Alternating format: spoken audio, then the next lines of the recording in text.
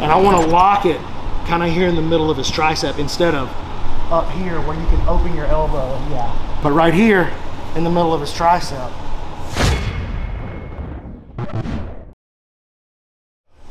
Number one, monitor the posture. I'm looking for his posture all the time. Rule number two, I have to keep his elbow open. Rule number three, I can't let him touch my hip. And rule number four, no matter what, don't lock it too early. It's kind of like feeding the gremlins after midnight. You know what I mean? Don't do that. They're cute and everything, but don't get them wet and don't feed them after midnight.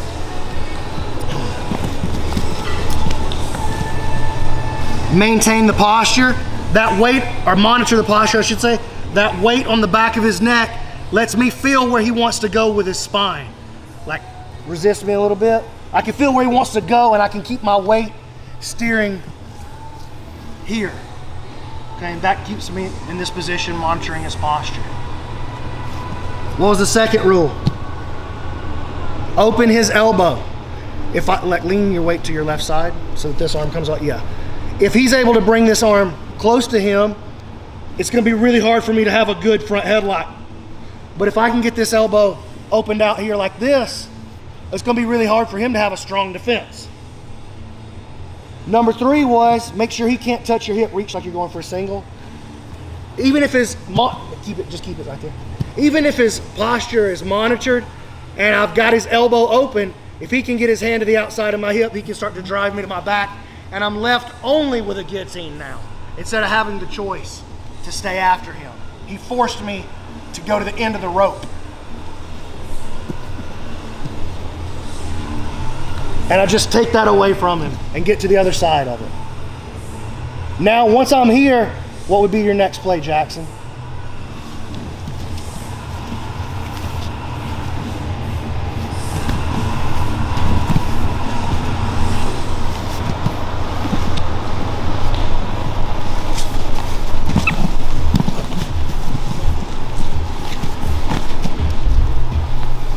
Just follow those rules. Every defense that he offers you, follow those four rules. You see how there at the very end, when he rolled back and I rolled back to the top, that's when I punched it deeper. Because if I'd have had it too deep before, he would have kicked his elbow across, opening his elbow, touching my hip, and shutting the play off. So I waited until the moment was right and finish it right there. All right, ready? One, two, three.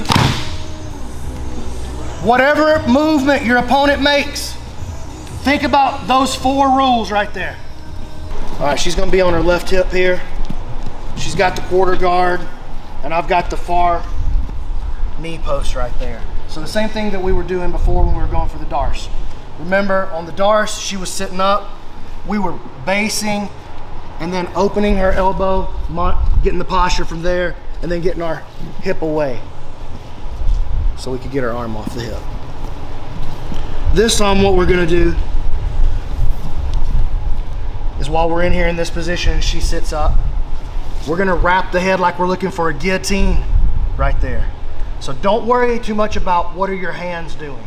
What I want you to focus on is using the kind of your armpit and your lat to bend their head, say, this way.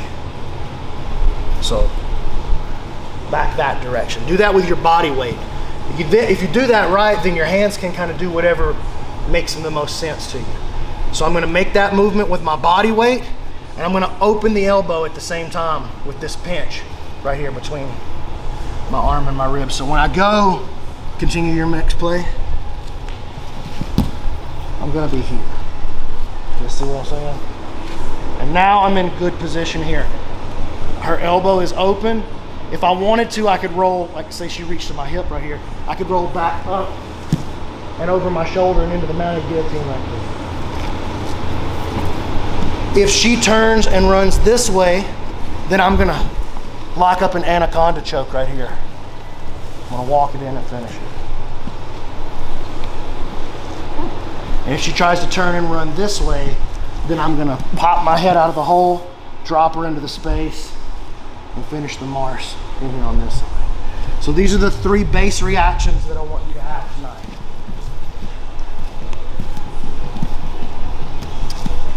Number one, she sits up. We're all gonna run the same entry. Arm around and then drop my weight on her You guys see the, it's not this. And then try to roll over. I'm dropping my weight here, which allows me to pull with this elbow to open up that position. She's got her hand on my hip, so my first priority has got to be to start shaking that hand out of there. So now I've taken care uh, of the posture monitored. The elbow is open. See the elbow is higher than the shoulder. That means the elbow is open. Not is the elbow over here. The elbow's lower than the shoulder. Not open. Over here would be fine because the elbow's higher than the shoulder. I need the elbow higher than the shoulder. And then if she was still reaching for my hip, then I would want to shake my hip off of this. And now I can think about locking it. From here, I would go deeper and then try to lock it. Make your next reaction.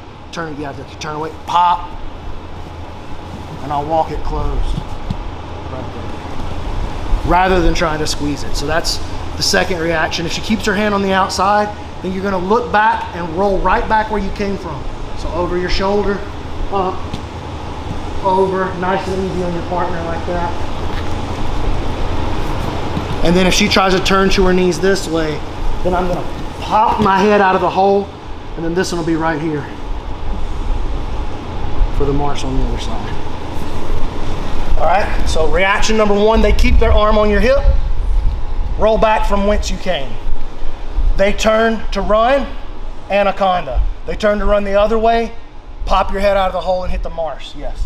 Anaconda, I know sometimes I'm bad about reaching to, to grab that. You walked your hips and held that arm there. That's Is right. That, that, no, that's a great that's a uh, great observation. Come out here and I'll show you the difference. So get where you need to get to see this detail that he's asking about. If you didn't hear what he said. start out there. It's okay.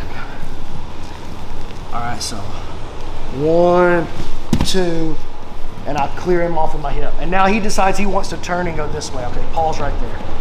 What he said was, I noticed that when you went, you didn't punch through deeper and then try to grab here. What? Yes, that's right. Because he's going to close his elbow right back down. He gets his elbow back in here, and now I have to think about peeling him out again. There's no way that I can lock it right here. See that? So instead, I keep the elbow open, and I walk to here. Yeah, his hand can go wherever it is. Sometimes it'll be there. I just don't want it up here. I want to kick it off. And I want to lock it kind of here in the middle of his tricep instead of up here where you can open your elbow. Yeah, I can't do that. But right here in the middle of his tricep, can you open that elbow now? no way. And I got plenty of time now just to walk in and start to apply just a touch of squeeze. Feel the difference? Yeah, that was a great question. Great question. All right.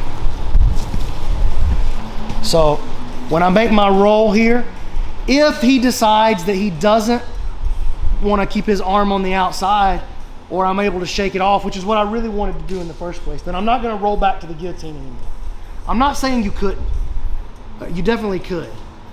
But there's better plays available now. Okay? If he turns this way and gets onto his side, I go deep and watch my lock for the anaconda. Most of you are going to make this mistake. Scaff taught me this. I didn't know this until he showed me this. This is a game changer. Don't lock in the armpit right here. Uh, what is one of the rules about the elbow here? He, we have to keep the elbow open. If the elbow starts to close, then he becomes strong again. Okay?